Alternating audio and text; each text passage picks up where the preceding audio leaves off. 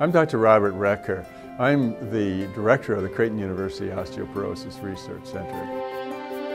Our mission is to treat patients, of course, but also to conduct research into the cause and prevention and treatment of osteoporosis and fractures.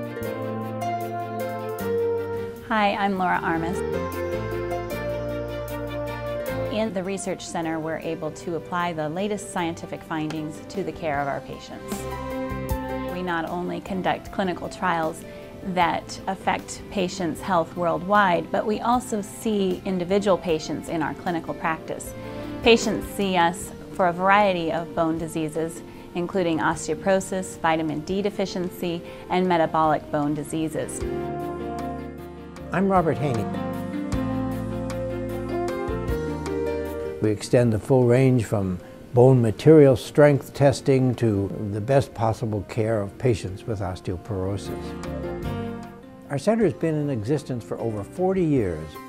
It was then the most comprehensive osteoporosis center in the country, and I believe it still is today. I'm Dr. Joan Lappe. Our research team in the Osteoporosis Research Center has been working with local members of our community for decades. Many primary care physicians ask us to see their most difficult clinical cases, and we have patients from as far away as California to Maine. Although our focus is on osteoporosis and bone health, we are also interested in other disorders and we have studies currently going looking at heart disease and obesity and cancer. We've done so many studies here that have been path-breaking that in a sense we've kind of written the book about various aspects of calcium and bone metabolism that the rest of the country depends upon. Our work has set the standard for calcium intake and calcium nutrition in women during postmenopausal years. So I think our research center has made a contribution, a substantial one.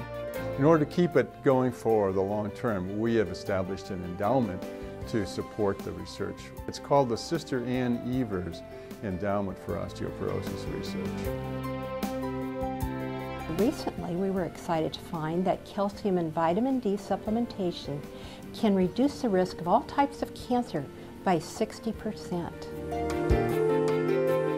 These studies would not have been possible without our research volunteers. Over the past nearly 50 years of research, many volunteers have generously joined our research projects, and I would like to give them uh, my heartfelt thanks. There are a lot of benefits for research volunteers.